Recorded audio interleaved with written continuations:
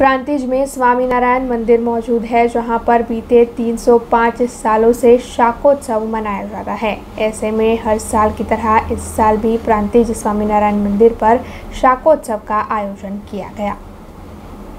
साबरकांठा ज़िले के प्रांतिज के स्वामीनारायण मंदिर पर बीते 305 सालों से एक परंपरा चली आ रही है, जिसके तहत शाकोत्सव कार्यक्रम मनाया जाता है। उसी के चलते इस साल भी हर साल की तरह शाकोत्सव का आयोजन किया गया और भव्य तरीके से मंदिर के सभाखंड में इस कार्यक्रम को आयोजित किया गया।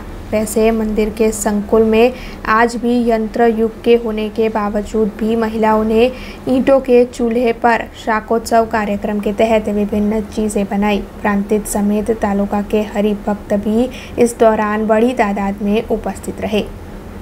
अब खबरों से लगातार अपडेट रहना हुआ आसान। बीआरजी न्यूज़ आपके मोबाइल स्क्रीन पर। आज ही बीआरजी न्यूज़ की mobile app Google Play Store और ऐप स्टोर से डाउनलोड करें और खबरों से लगातार जुड़े रहें।